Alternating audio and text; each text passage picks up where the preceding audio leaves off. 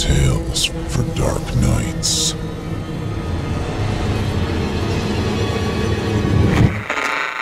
Want to make sure you never miss a Chilling Tales for Dark Nights video again? Be sure to subscribe and hit that bell to turn on notifications. It's time to turn off the lights and turn on the dark.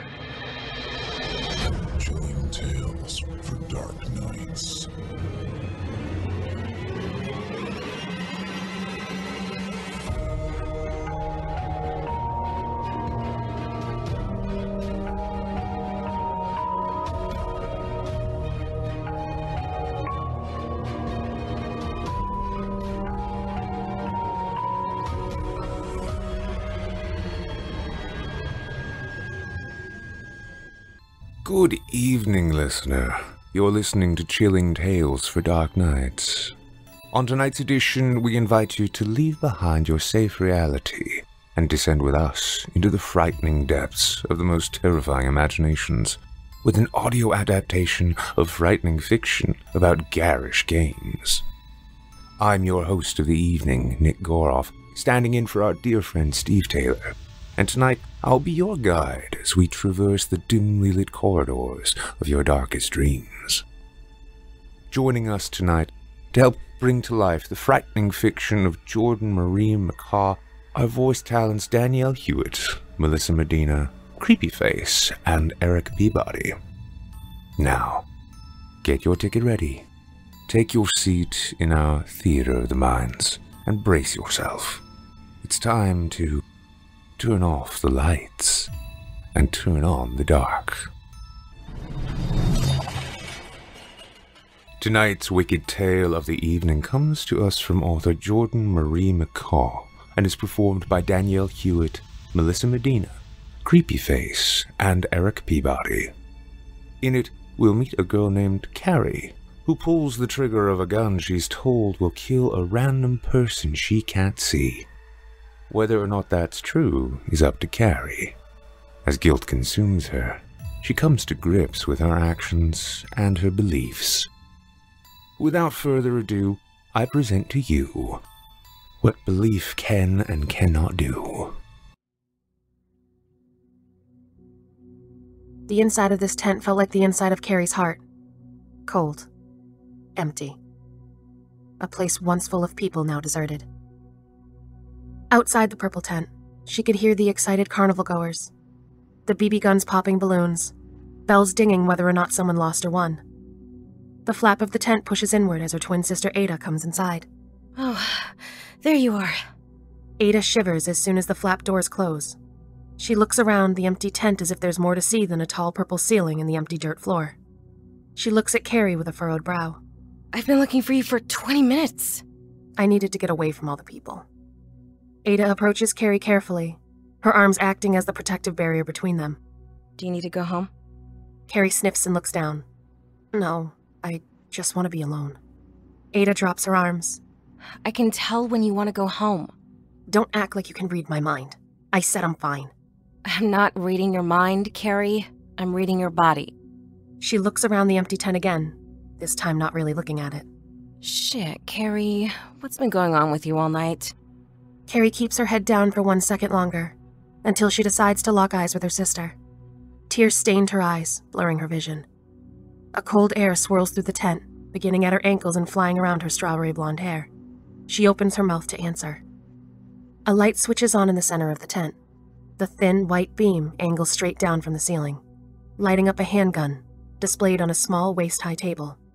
Ada's eyes grow wide at the sight of the gun. What the? Ladies, welcome.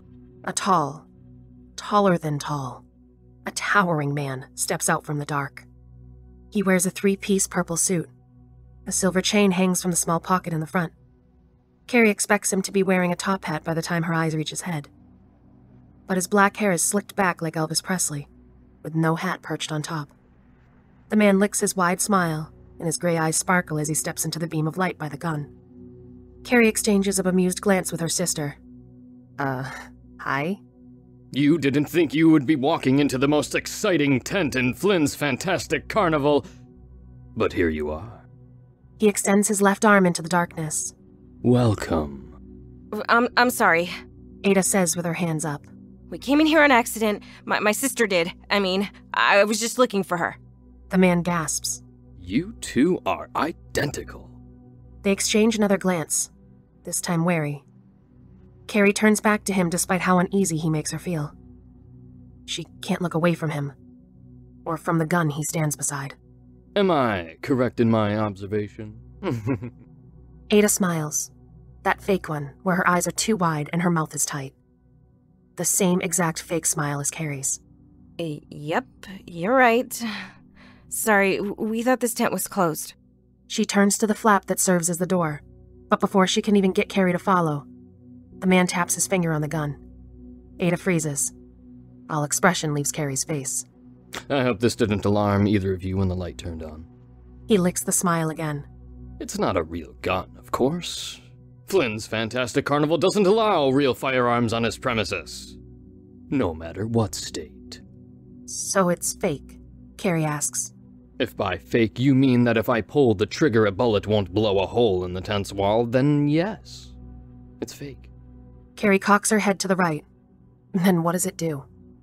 The man's smile stretches until it looks like it's wrapped halfway around his head. What's your name? Carrie. Ada whispers something behind her, but she doesn't hear what. The man's eyes flick to Ada. And yours? Ada crosses her arms over her chest. Mary. Carrie flicks her own eyes to her sister, raising her eyebrows. Carrie. Mary. It's a pleasure to meet you both. My name is Cornelius. He steps in front of the gun and crosses his own arms to match Ada's. His elbows look sharp enough to tear holes in the tent. Now answer me this, dearies. Do you believe in magic? Ada snickers. Of course not. Cornelius looks at Carrie. She blinks, clears her throat, and says almost in a whisper, No. He uncrosses his arms. Well, that's all right. Believing in magic is not necessary to participate. Participate? No, sorry, we were actually just leaving. Carrie turns to her sister. Let's stay a minute. Let's see what's going to happen. Ada takes two steps toward her sister and grabs her wrist. I don't want to see what's going to happen. She whispers.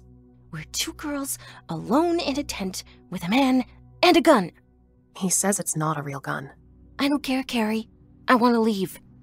Ada tries to pull Carrie by her wrist, but Carrie stays put. Please, eh, Mary. I want to see whatever this is. It's a carnival. There are children, families, people outside. Let's just stay for a minute. Cornelius checks the silver pocket watch intently, as if he isn't listening to their hushed conversation. His expression remains calm, without even one eyebrow raised in interest. Ada looks him up and down and then back to Carrie. Whatever, fine. The only reason I'm not leaving this second is because you refuse to leave with me. It's not like nothing bad never happened at a carnival, right? Carrie turns to Cornelius. Sorry, sir. We're ready. He closes the pocket watch with a snap and returns it to his front pocket.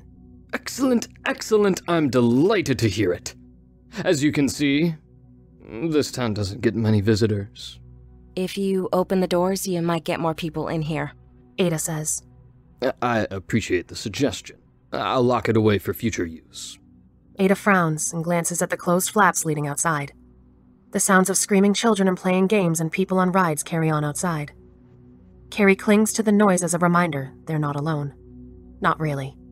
They have nothing to fear yet. She watches Cornelius with fascination as he rounds the gun on the table. It only comes up to his mid thigh, but it's almost as tall as Carrie and Ada's chests. He beckons them closer into the light. There's not much to this. Cornelius says, All this demonstration requires is belief. Do we do something? Carrie asks. Or are you about to do something? Cornelius giggles. They rise up from the back of his throat like a particularly acidic burp. I won't do anything here. It's all up to you, Carrie and Mary. If you decide to participate, and if you decide to believe. Ada shrugs. What are we supposed to believe in? That we're looking at a gun? This requires belief that is unseen. Perhaps faith is a better word for this. What is it that is found in Hebrews? Faith is the substance of things hoped for, the evidence of things not seen. Ada rolls her eyes at the quote. Carrie, however, leans into the words. The handgun looks old to her. Her knowledge of guns is just about non existent, but she knows a gun when she sees it or hears it. This gun looks like it's made entirely out of silver. Ornamental designs trace the barrel. She notices the chamber and realizes this is a revolver. That much she knows. That means there are six bullets inside, or it holds up to six bullets. If this gun isn't real, though, what could be inside the chamber? Is it a water gun? Does it shoot bubbles? Cornelius stands behind the gun. Now, I said it wasn't a real gun. And in a way, that's true. If I pulled the trigger right now, nothing would come out of it. But it does load and shoot like a regular gun. It will fire if someone is to pull the trigger. Does it fire blanks? Ada asks.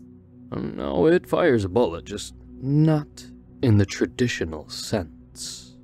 Carrie shakes her head, her shoulder length hair dancing around her shoulders. I don't understand. Cornelius chortles to himself. Forgive me as I get excited. Explaining this is my favorite part. He pets the top of the gun with one index finger. You two may not believe in magic, but something will happen if you fire this gun. In fact, something will happen to someone if this gun is fired. We just won't know who. Something will happen to someone? What? Ada shakes her head now, her longer, strawberry blonde hair wiggling in between her shoulder blades. Just tell us what happens when you fire the gun. Cornelius bites back on another giggle. Carrie notices his teeth are crooked as the top row bites into his lower lip. As soon as he gets himself under control, he says, If this gun is fired, someone in this town will die. But you said it doesn't fire bullets. Ada argues. I didn't say it wouldn't fire a bullet somewhere else. Ada shakes her head again. What the hell are you talking about? None of this makes sense. Cornelius giggles, unfazed by Ada's mounting frustration. Ada grabs Carrie's wrist. It's time to go, Carrie. No, Ada. Carrie pulls her wrist out of her sister's grasp. Ada turns on her with eyes wide, her true identity revealed. This only turns Cornelius's giggles into full-on laughter. He howls as he doubles over, one hand on his bony knee, the other hand holding his flat stomach. Carrie, he's talking about someone in our town dying. He's making a mean joke about us. How is he making fun of us? He's making fun of our town. I don't know. He's laughing at us. No, no, no, no. Cornelius straightens up, wiping a tear from his right eye. I assure you, I am not making fun at your expense. I just can't help the laughter when I get so excited. Please, forgive me. I'm not finished explaining how this works. Ada crosses her arms unmoving. How can you say that if someone pulls the trigger on that gun, someone in our town dies? Did you kidnap someone? I mean, do I need to call the cops? It's not as easy to explain if you don't believe in its magic. He says. I understand your unbelief.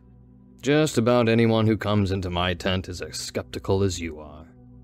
You see, the gun works regionally, within whatever town's limits it's currently in. Ada shrugs. Okay. And someone in this town will die if the gun is fired? Carrie asks. Cornelius's eyes light up. Yes. Ada takes one step toward Carrie. Why would anyone want to fire that if it's true? That would be murder. But you said yourself that you don't believe in magic. So, if you fire the gun and nothing happens, then nothing happens. Ada walks up to the gun. The white light makes her pale skin glow. Do people really come in here and do this at every carnival you're at? I don't get many visitors.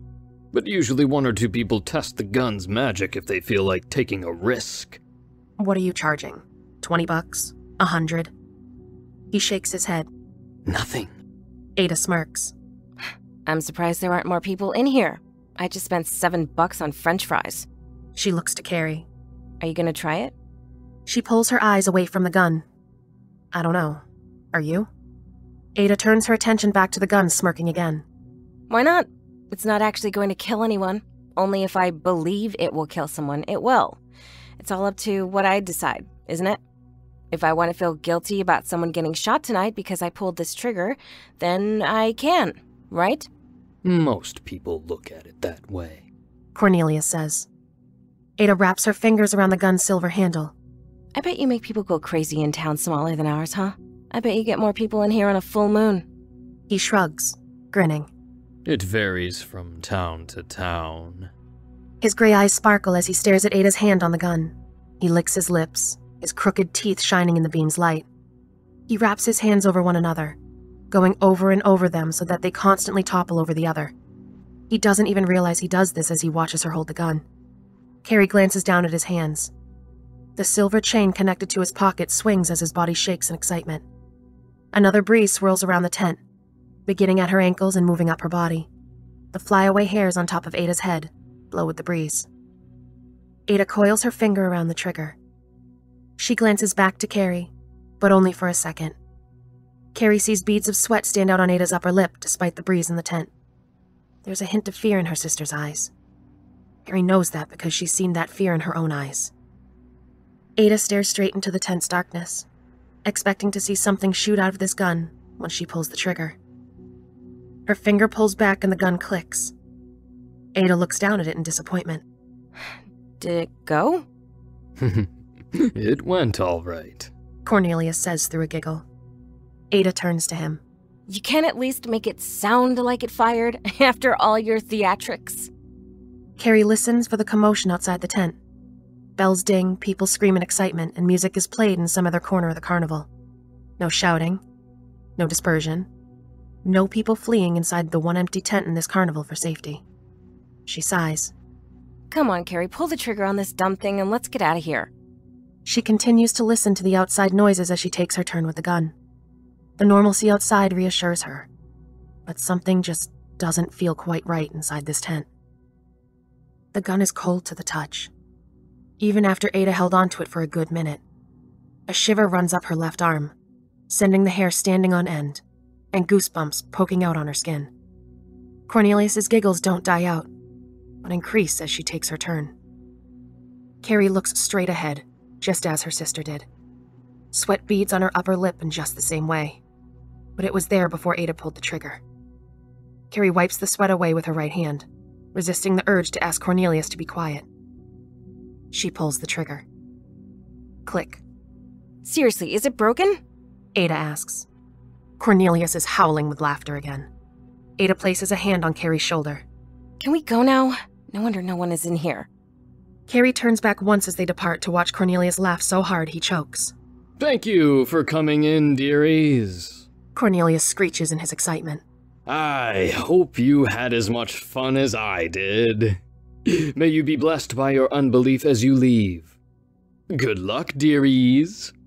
The purple tent's flaps shut behind them, and they're back outside. Carrie examines her left arm. Did you feel that? Feel what? The major letdown that just happened in there, or the extreme creepiness of that guy? I'd say both.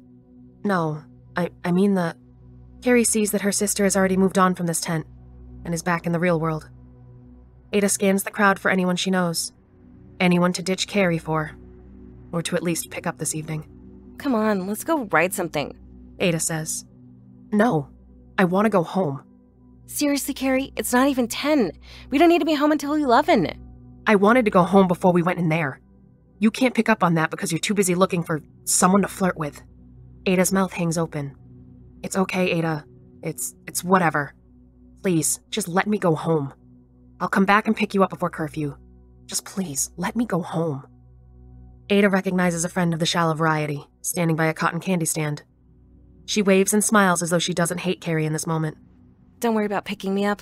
I can get a ride. When she looks at Carrie for the first time since being outside the tent, she's frowning. You're no fun, Carrie. All you want to do is stay in your room reading or do whatever it is you do in there. You know I don't like crowds, Ada. I only came here because you begged me to. I just thought. I just thought we were supposed to be the same person, not the opposite. You know, that line really got old when we were like 10. When Ada doesn't reply because she's waving at her friend again, Carrie heads toward the parking lot. Please don't do anything stupid, Ada. As soon as Carrie gets home, she checks local news stations and newspapers on her laptop. When she doesn't find anything about someone getting shot, she turns her laptop off and goes to bed. At 8:45 that evening, exactly when Ada pulled the trigger on the silver gun, an elderly woman is found dead in her bedroom. Her husband found her halfway off the bed, bleeding profusely from the chest. Once medical examiners see her, they determine that the wound goes through her chest and out her back. A clean shot, most would say, if she had been shot. There were no reports of gunfire noises or sightings in the area, however, and no bullet casings or shells of any kind found in the bedroom. It's as if a spear of air bore a hole straight through this woman's heart and exited through her back, killing her almost instantly. Despite Carrie's fruitless search for local shootings on the internet, a shooting did occur in her town that night, though the news hadn't gotten a hold of it yet. Gunfire woke up a pastor of a Baptist church at 847. His wife stirred in her sleep beside him as a second shot was fired. He told her to stay in bed as he slid on his slippers and walked downstairs to the living room to get a better look at their street. Just as he reached the window, a nondescript compact car sped past his house. He sighed as he watched the car hang a right without even tapping the brakes. He hoped the shots didn't wake his two daughters upstairs. Daddy? He sighed again as he turned around. The full moon made his youngest girl's face glow white. He held his hands out to her. It's okay, sweetheart. Let's go back to bed. She pointed at his chest with a tiny finger. Daddy, you're hurt. He looked down and saw a growing spot of red on the left side of his white t shirt. He touched it and his fingers came away sticky with blood. He looked to his youngest, whose eyes were wider than his. Let's go back to bed. He said, then fell face first before his daughter. She screamed bloody murder. Carrie shoots up from her pillow, gasping. Sweat lathers her body. She throws off the sheets and jumps out of her bed as if the night terror would stay there if she leaves it. It doesn't. The night terror plays in her mind as clear as when she was asleep. She saw the hole in the pastor's chest. She even recognized his face. She's attended his church a couple times in the past year. The glowing light on her laptop flashes at her. She opens it to see if she could find any news about people dying tonight. She even goes to her town's police scanner Facebook page. The most recent post is about someone getting their bike stolen at the carnival. Carrie patters to Ada's room. Ada, she says a little louder than a whisper. Ada. Ada isn't in bed. Carrie sees the time on the clock on the nightstand reading one in the morning. She tiptoes to the kitchen. Her dad's asleep in his recliner. The TV's blue light fans across his snoring face. Carrie takes a deep breath, holding herself by her shoulders. Sweat clings to her body, but she doesn't feel like she's going to jump out of her skin anymore. Just as she decides to go back to her room, the back door creaks open. Carrie twists to greet Ada sneaking inside. Before either of them says a word, Carrie points down the hallway to their bedrooms. It's one in the morning, Carrie says as soon as Ada closes the door to her room. What were you doing? Ada turns on the lamp beside the bed. She wrinkles her nose in disgust. Geez, Carrie, you look awful. Are you sick? Carrie casts her eyes down at her feet. I had a nightmare. Ada rolls her eyes. Uh, what was it about? Someone getting shot mysteriously? Carrie nods, more to herself than as an answer to Ada's question. Ada's smirk dissolves into concern. You really don't look good, Carrie. You should go back to bed. What if it's real? What if when we pulled the trigger, two people died? Ada walks up to Carrie and grabs both her shoulders. Go back to bed, Carrie. You're half asleep. The nightmare won't come back. But it does. The pastor dies in front of his five year old daughter. When his wife gets downstairs, his eyes are glass marbles and his body is stiff. She shrieks with her daughter pulling her close. The police are already in the area because of the gunfire. He's pronounced DOA once the ambulance gets to the hospital. Investigators search the house for any signs of intrusion.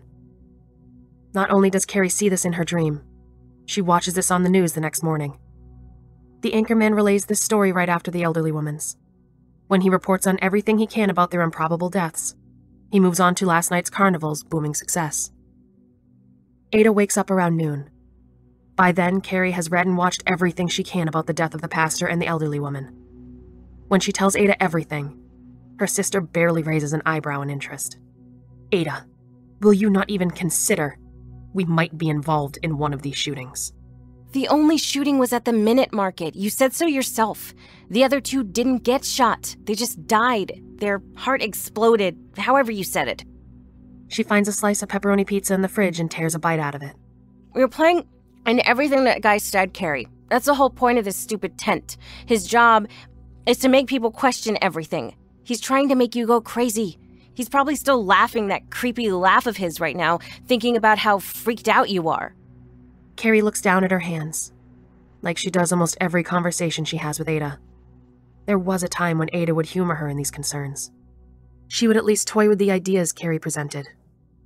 Now she's looking for an excuse to check her phone. Ada sits on the counter, the slice of pizza reduced to the cold crust. Are you done with this?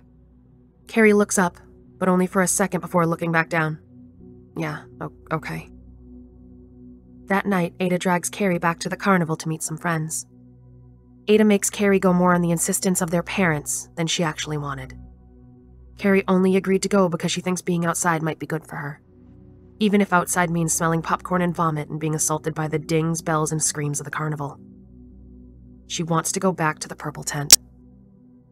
Cornelius's tent, however, is gone. Carrie turns in circles. Sure, this is the tent's exact location the night before. Ada even looks around curiously, pressing her lips together and furrowing her brow. Huh, that's weird. Ada's eyes grow wide. Do you think he wasn't really part of the circus? Or maybe he has something to do with those two deaths? Carrie rubs her forehead, sweat beads on her upper lip. Her stomach rolls over itself, like one of the rickety roller coasters at the carnival. What if none of this was real? Carrie considers. This isn't the first time she considers something she experienced as being a figment of her imagination, but it's the first time she voices it. What if none of that happened last night? What are you talking about? Of course it happened. We can't collectively imagine something. We're, we're both not delusional. Feeling leaves Carrie's face. I didn't mean that. Ada takes it back. I just mean. You're not the crazy one. What I'm saying, Carrie, is that he was definitely here last night, and now he's. She gestures at the open space where the purple tent was. Gone. Carrie picks her right arm with long fingernails. Let's just forget about it, huh? Forget about last night. At least he didn't take our money. Are you really not worried about any of this? About those two people who died unnatural deaths last night? No, I'm not worried at all. Let's have some fun tonight, okay? You know it sounds good. French fries. Carrie doesn't have fun that night. In fact, she doesn't have fun for the next seven years. As Ada enrolls in college, falls in love, gets married, and has a child, Carrie stays at home with their parents. She sleeps more than she should. She eats too much. She mutters to herself. And she dreams about the pastor's final moments with his daughter. She spends too much time researching the pastor and the elderly woman's lives, their families, how their deaths affected others.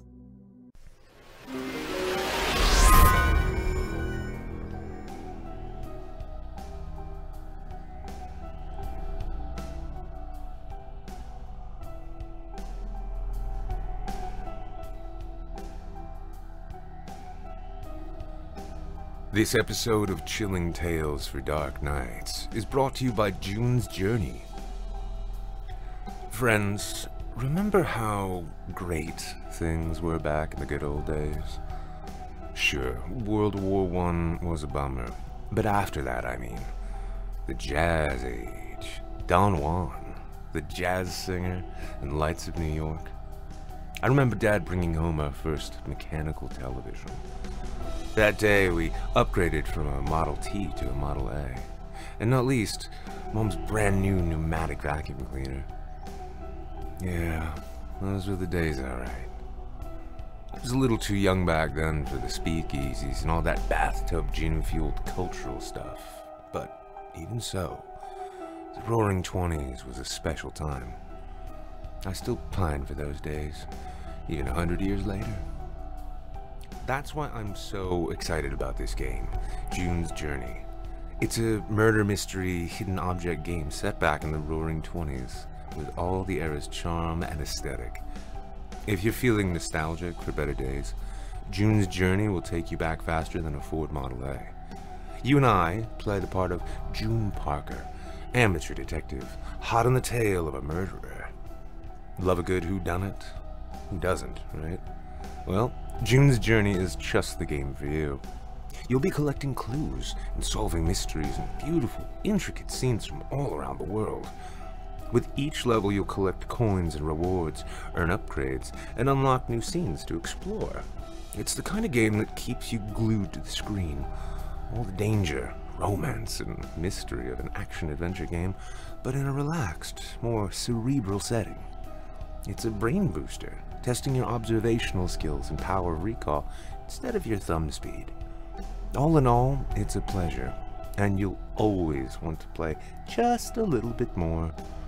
My favorite times to play June's Journey are the morning to wake up, and at night to wind down. That's not to say I don't play in between sometimes. It's also not to say I, I don't play from morning to night sometimes. Look, I'll admit to a minor obsession, but hey, we didn't have technology like this back in the 1920s.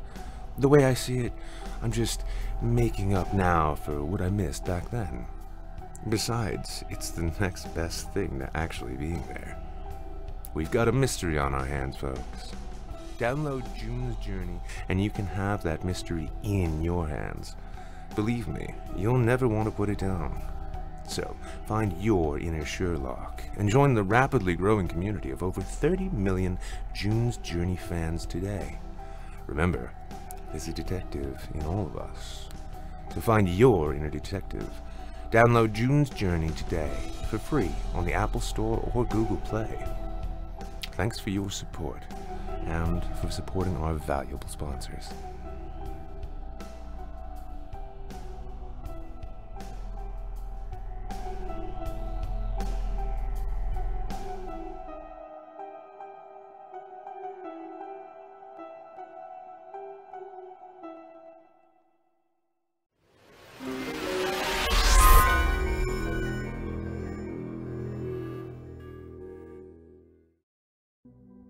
Scabs litter up and down Carrie's arms. She picks them when she's anxious. Her once thick strawberry blonde hair is an oily, matted nest thinning by the day. At one point, her parents consider kicking her out of the house. But when her mom sees the scabs on her arms, she can't make her go. They make Carrie go to a therapist, who's more interested in Carrie's relationship with her twin sister than the mysterious man with the purple tent. I think I killed someone, Carrie tells her therapist. I think I'm responsible for a pastor's death. I think I'm going to hell because of it. She explains Cornelius, the tent, the gun, the magic, to her therapist. She explains how at first she didn't think she believed in what the gun does, but is now unable to deny it. I looked into that pastor's death, Carrie. Her therapist tells her, and this is not the first time. He had a pacemaker that exploded in his heart. It was a defect in a new model. That's what happened to that woman, too. Same pacemaker, same defect. They recalled the pacemaker and destroyed the model. Those were the only two malfunctions. I couldn't even understand how it malfunctioned when I looked into it, and I'm sure you wouldn't understand either, but that's not important. What's important is that you accept that you had no part in their deaths. I only had part in one of the deaths. The pastor. My sister killed the woman. And why do you think you killed the pastor and not the woman? Carrie lifts her nails up to her arm to pick it, but reminds herself not to do that here. Instead, she bites her lower lip. Because I dream about him every night. I think that man, in the tent, Cornelius, I think he's the devil.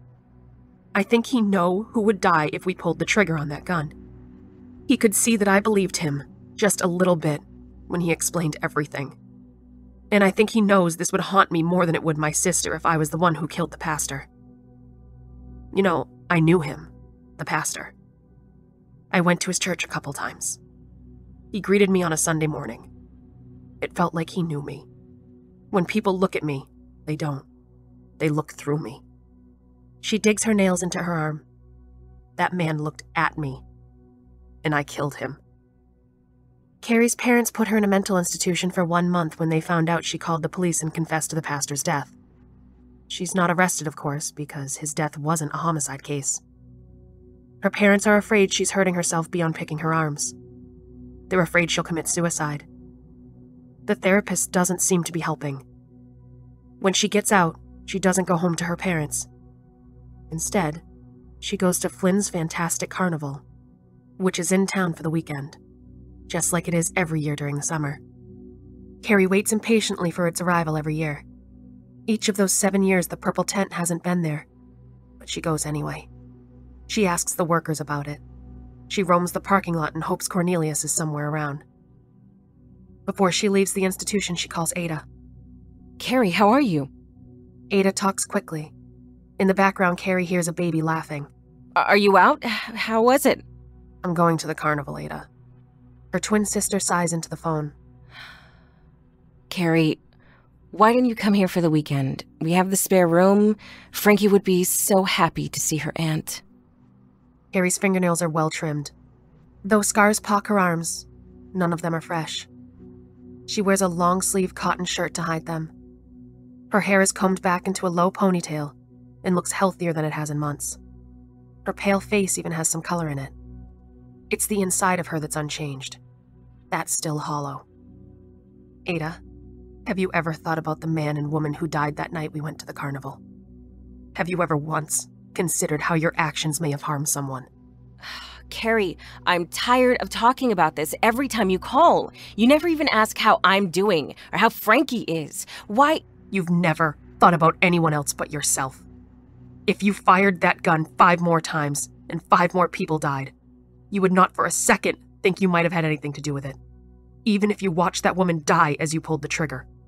You're sick, Carrie. You're always going to be. I'd say you need help, but I don't think anyone can help you. There's only one person who can help me. Carrie? She hangs up the phone and walks outside with nothing but a bottle of antidepressants in her pocket and $50 in the other. The scabs on her arm burn under the cotton, but she keeps her hands by her sides. The carnival isn't open when she gets there, but she sneaks through a broken chain link fence rather than try to go through the front gates. Animal piss assaults her senses as she walks past the petting zoo. A billy goat looks up from her with its wrong, black eyes, as though it knows who she's looking for. There's recognition in its eyes that Carrie has a hard time looking away from. She slows her pace until she stops before the billy goat. It munches on dry hay as it stares at her. For some reason, the scabs on her arms burn more than ever.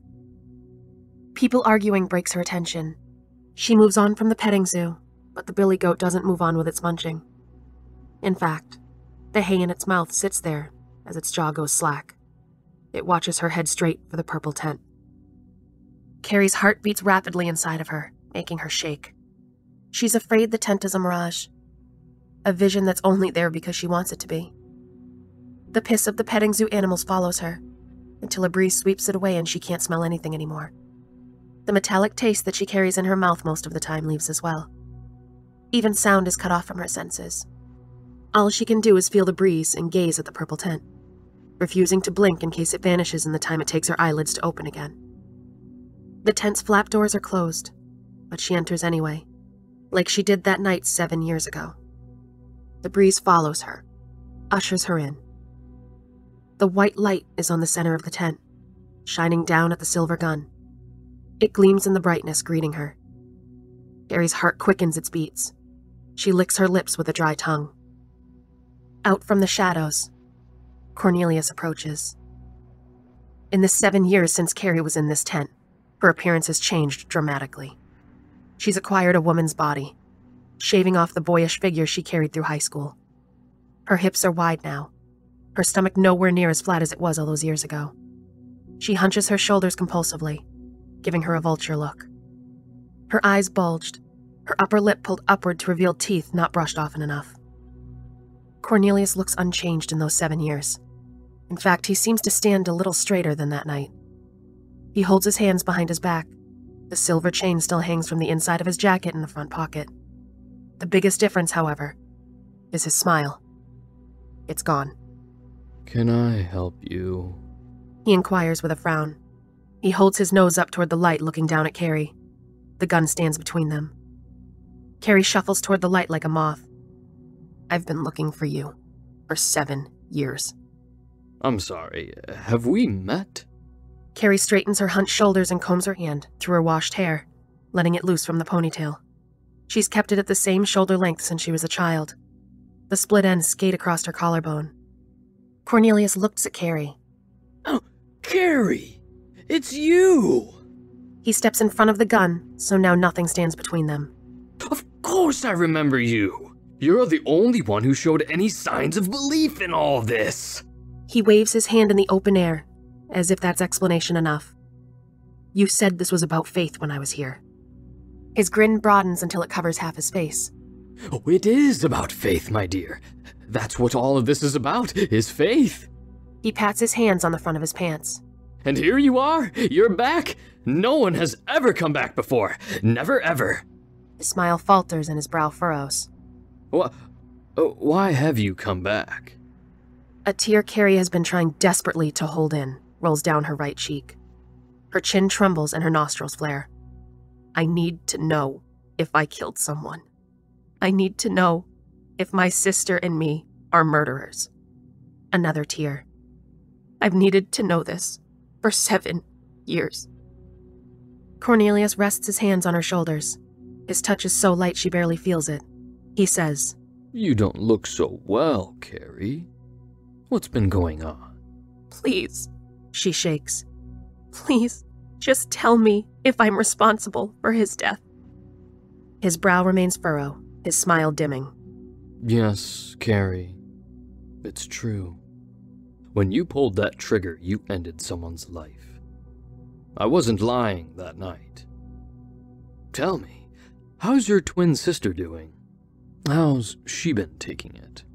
She still doesn't believe in anything. If it doesn't affect her directly, she never cares. But this does affect her. She also pulled the trigger that night. But she doesn't believe. Oh. She holds her stomach as it twists and knots inside of her. I can't take this anymore. I thought knowing for sure would be enough. I thought that if you said yes or no, I'd be able to walk out of here fine. But knowing makes me feel worse. Knowing what I did really makes me want to die. Oh, Carrie. He pats her shoulder again, his touch still light as the breeze swirling in the tent. Sometimes knowing makes everything worse. Oftentimes, ignorance is bliss. She eyes the gun. I think I'm still not sure about all of this. I'm not sure I believe. She steps around him and picks up the gun. She holds the handle out to him, the barrel facing toward her. Shoot me, she says. Put me out of my misery. Cornelius holds back a giggle until it slips past his lips. Do you understand what you're handing? If I shoot you with that, the bullet won't hit you. But this is yours, isn't it? Can't you make the bullet hit me? Aren't you in control? The giggles are inescapable now. His pink tongue pokes out from between his teeth. He leans over her as he laughs. I'm only in control of my belief. She points the gun at him, and his giggles cease. His wide smile draws to a small circle of surprise. When he notices she's not bluffing, he gives himself up to. Wait! The walls of the tent ripple, and the breeze whips Carrie's hair around her face, as if a cosmic bullet ejects from the barrel. But the only thing that leaves the gun is an empty click. No bullet tears into Cornelius's stomach where she has the gun aimed. He doesn't even flinch. Carrie drops the gun and brings her hands to her face. Did you hear that? Cornelius chokes in between giggles. She lowers her hands from her face. Hear what? His eyes roll to the gun. Did you hear it? Click. her hands cover her face again. She shakes her head. Oh, no. I didn't I didn't mean to. I'm just so mad. I thought it would. Oh no. She removes her hands from her face. She swallows a wad of saliva that has been building up in the back of her throat ever since she picked up the gun. When she blinks, her eyes appear clearer than they had been in weeks. You've been lying to me the whole time, she says. That gun doesn't do anything. And why would you suddenly believe that? She feels the bottle of antidepressants in her pocket. and thinks of how clear headed Ada had been about this from the beginning. Regardless of how selfish she was, Ada knew when someone was bullshitting her. I know the gun doesn't do anything, because that's what this whole tent is about, she says. That's why it's in a carnival. This is just a bad trick to make people question if they're good or not. Although his smile isn't the unusual head splitting length, it doesn't leave his face. That all depends on what you believe is the truth.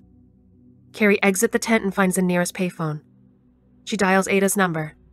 As the phone rings, she thinks about what she wants to say to her twin sister. She closes her eyes and sees Ada lying on the ground in her kitchen, her blue shirt turning red. The image is quick, like a flash. She drops the phone. It swings on its metal wire as she runs out of the carnival. When she passes Cornelius's tent, she hears him snickering inside.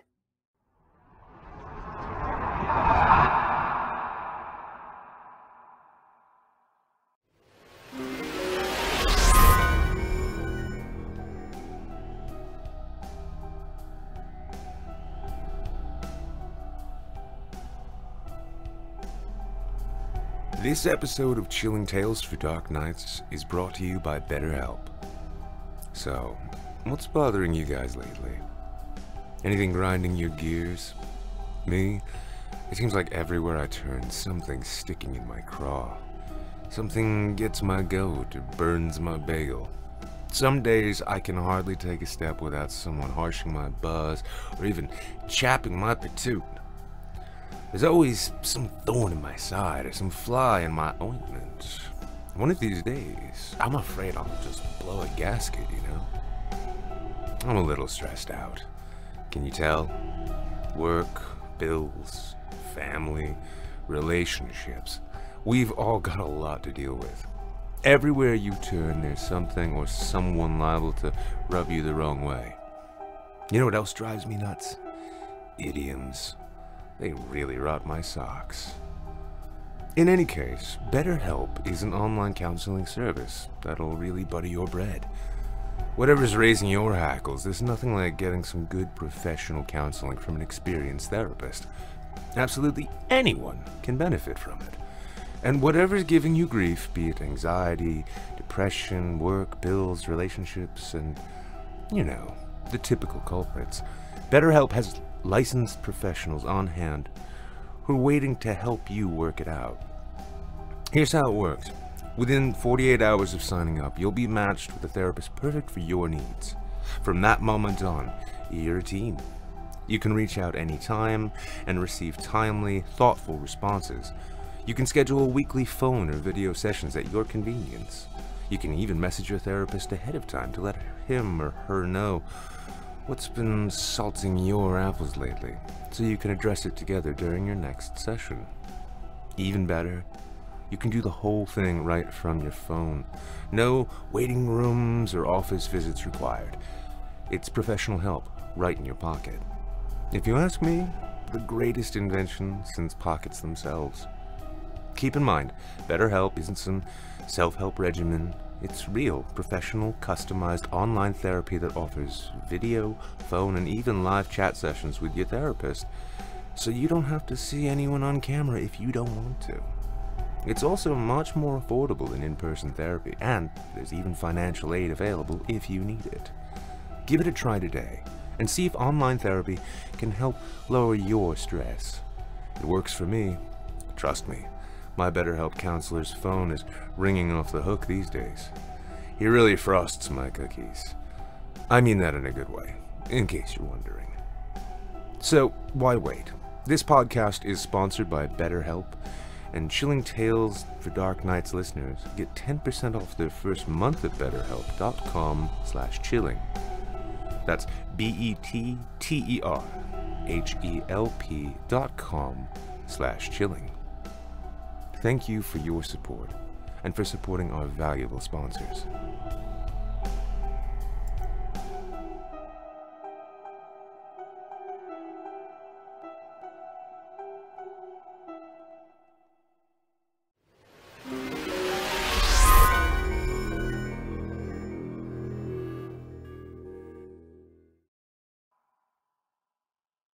I hope you enjoyed What Belief Can and Cannot Do, as written by Jordan Marie McCaw, and performed by Danielle Hewitt, Melissa Medina, Creepyface, and Erik Peabody. Jordan Marie McCaw's work and author profile can be found by visiting creepypastastories.com under the name McCaw. That's M C C A W. If you enjoyed Danielle's performance, you can hear more of her here on the Chilling Tales YouTube channel, where she holds the third place championship title for 2019's Evil Idol competition. You'll also find more of her work on the Wicked Library and Creepy Podcast at www.creepypod.com. As a reminder, voice actress Melissa Medina's work can be found on the official Chilling Tales for Dark Nights YouTube channel, as well as her website, hearmelissa.com. That's H E A R M E L I S S A dot com. Creepyface's performances can be found right here on our very own network, as well as on his YouTube channel called by the same name. He has worked so very hard making a career out of voice acting and his love of horror, and with his talent, we just had to have him on our team. I implore you to please check him out. You can hear more of Erik Peabody on the Chilling Tales YouTube channel, where he holds the second place championship title for 2019's Evil Idol competition. You'll also find more of his work on his website at www.vikingguitar.com. Now, our weekly descent into the depths has just about come to a close, but before we go, I'd like to take a moment to thank you for joining us tonight, and remind you to take a moment to stop by our iTunes page and leave Chilling Tales for Dark Nights a five star review and a kind word. And follow us on Facebook, Twitter, and Instagram if you haven't already.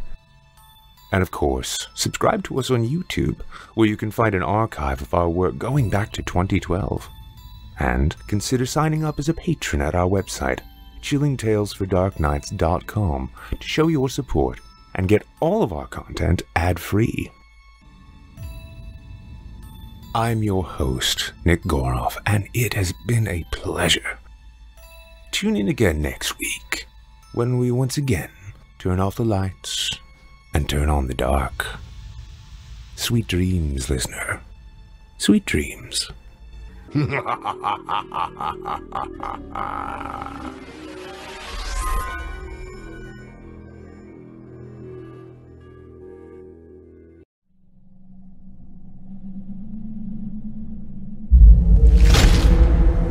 tales for dark nights.